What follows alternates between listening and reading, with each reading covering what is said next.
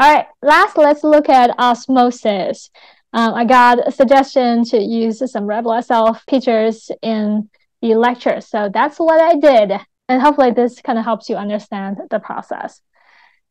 Uh, you probably have seen this picture many, many times, and uh, it is a, a, great picture to kind of show you what happens when you put red blood cells in different types of uh, solutions.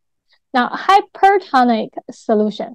I, know it's a, it sounds like a bizarre word, but when you see the tonic part of this word, just think of it as solute concentration right? How much salt you have, how much ions you have, how much um, proteins do you have. And hyper means a high, right? So hypertonic solution just means a solution that has more solutes, like higher concentrations of solutes than what's inside the cell. So let me just repeat real quick. A hypertonic solution has a higher concentration of solute higher solute concentration than what's in our cells. And so that's a hypertonic solution. And as you can guess, hypotonic solution is a solution that has a lower solute concentration than what's in our cells.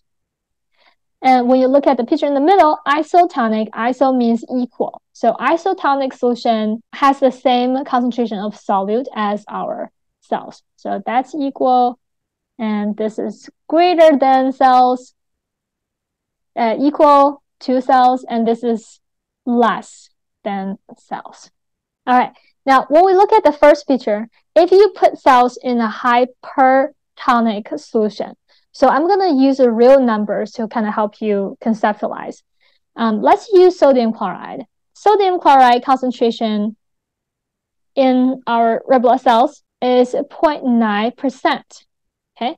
Now, hypertonic solution is going to have a higher concentration than that, right? So let's say 5%. In osmosis, we're thinking about how water moves. And water moves from low solute, which is 0.9%, to high solute. So water is going to move out of the cell, right? And into, oops, out of the cell and into this hypertonic solution. As water leaves the cells, the cells are going to shrink, right? Because they're losing a lot of volume. So you're going to see cells shrivel um, as this process, as osmosis is happening. Okay, now in isotonic solution, there is water movement. There is constantly water movement. But what happens is the amount of water moving in is the same as the amount of water moving out, right? Because the solute concentrations are the same uh, inside and outside the cell. So the rate of water movement is going to be the same. So in the end, it's balanced, right? Um, the cells are going to maintain their regular shape. So you're gonna not, so you're not going to see any changes. And if cells are in a hypotonic solution, so again, inside the cell we have 0.9% sodium chloride, and let's say this hypotonic solution has a 0.3%. Okay?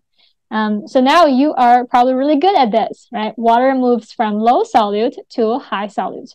So water moves into the cell, and that's gonna cause the cells to expand, right? So they're gonna get bigger, and they can't really hold for that long, right? So if there's too much water moving in, um, eventually the cell is just going to explode, right? It can't really deal with all that much water, all that pressure. So it's, it's, it's going to break. Okay, so this is uh, what happens to cells when you put them in different solutions, right, with different tonicities. Okay, and um, I just include this picture because it's uh, uh, more like a realistic. So you can see this is what cells look like when they shrivel up really kind of wrinkled, they get they they get a lot smaller. Right? And then this is a, a, normal shape for red blood cells. And then this is kind of what happens when um, the cells explode, right? Because there's too much water moving in. All right, now let's look at a couple of practice questions. Uh, this is the first question.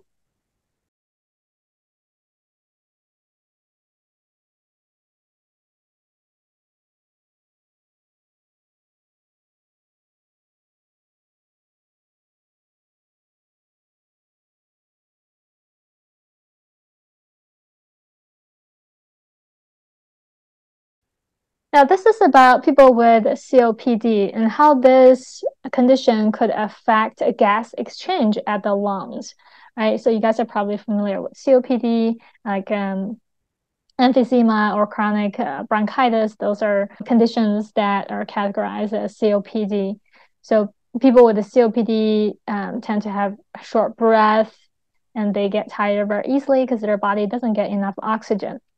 Uh, when someone has COPD, this condition would reduce the concentration of oxygen in the alveoli, right? Because you can't breathe as well, right? You, you can't get in enough air into the lungs in the alveoli. So there's less oxygen in the patient's lungs. And this slows down which process? Now, for these gas molecules to move, you have to have a concentration gradient, right? So the greater the concentration gradient is, which means the concentrations are more different in the blood and in the alveoli, that will make diffusion go faster.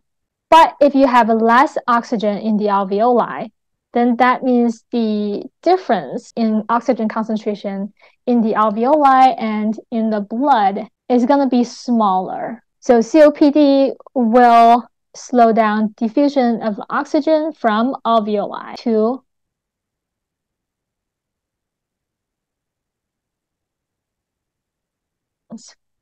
Okay, next question.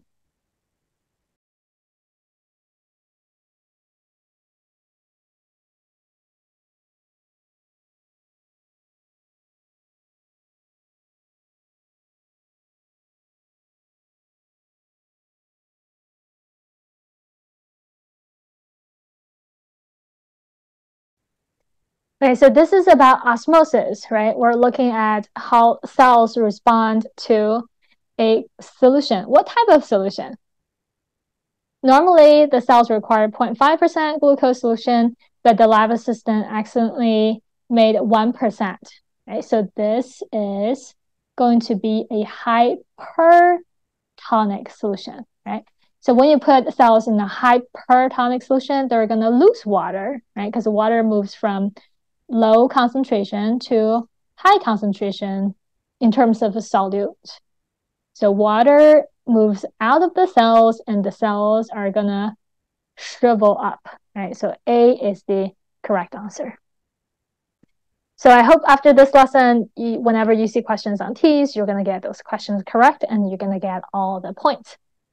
All right, now, if the lesson is helpful, please be sure to subscribe, like the video, leave me a comment if you have any questions, and definitely share the video with um, other students who are also preparing for TEAS so that uh, they can benefit as well.